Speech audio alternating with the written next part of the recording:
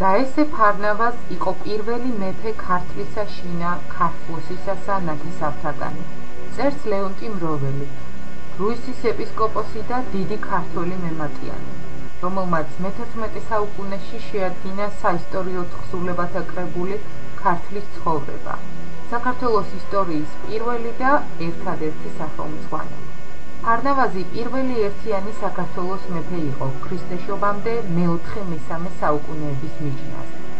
ქართულთა საისტორიო მეხსიერებას საქართველოს უძველეს მეფეთაგან მხოლოდ ფარნავაზის სახელი შემორჩა. უთუოდ იმიტომ, რომ განუზომლად დიდი იყო მისი ღვაწლი შობლიური ქვეყნისა და ერის წინაშე. იგი წარმოშობით უმაღლეს არისტოკრატთა წრეს მიეკუთვნოდა. მისი მამა მცხეთის უკანასკნელი მამასახლისის სამარის ძმა იყო, დედა კი ასპანელი, ისპაჰანელი სპარსი. ქართლის ცხოვრება გვიანდელს. ფარნავაზი სულ 3 წლისა იყო, როცა ქართლში მაკედონელები შემოიჭრნენ ალექსანდრეს მეთაურობით. მისი მამა და ბიძა მტერთან ბრძოლაში დაიღუპნენ. დედა კი შვილებთან ერთად მთაში გაიხიზნა. რადგანაც ფარნავაზ როგორც ქვეყნის მეთაურთა ოჯახის წევს საფრთხეელოდა. ქართლის მართლად ალექსანდრემ თავისი ნათესავი აზონი დატოვა. კაცი ძნელი და მოსისხლე. მისი ბრძანებით ყველა გამორჩეულ ქართლს კლავდნენ.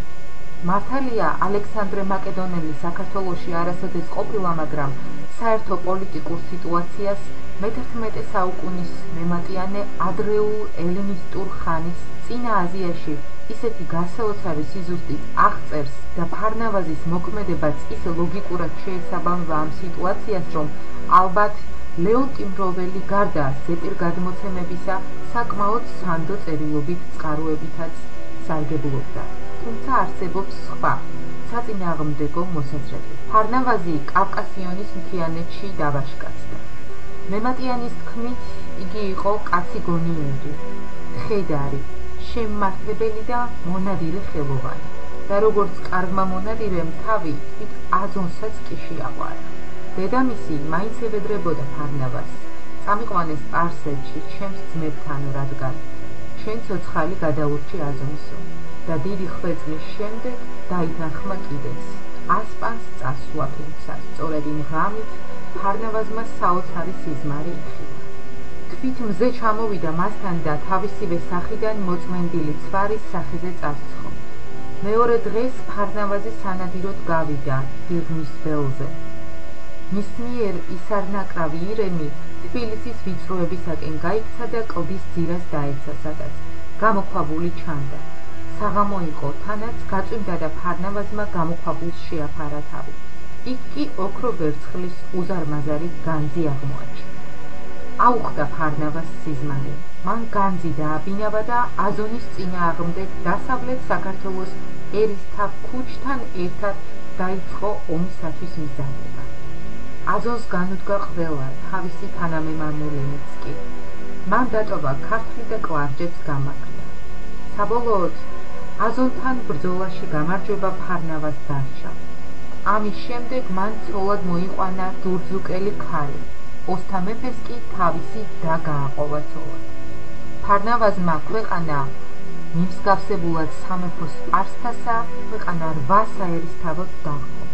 ეს საერისთავოები იყო ეგრის სვანეთის, სადაც ერისთავად დაამტკიცა ქუჯი, რომელსაც თავისი უმცროსი და მიათხოვა ცოლა.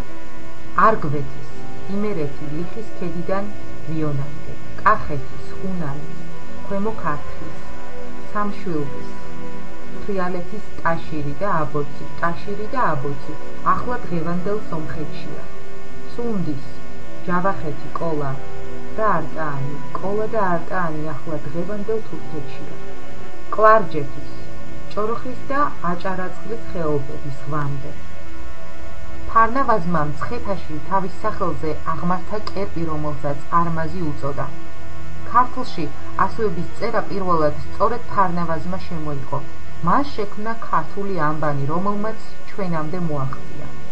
27 წლისა გამეფდა ფარნავაზი და 65 წელს იმეფა. მას ერთი ძე დარჩა, სახელად საურმაკ, რომელსაც სახელოვანი მამა მცხეთაში არმაზის კერპის წინაშე დაუკრძალა.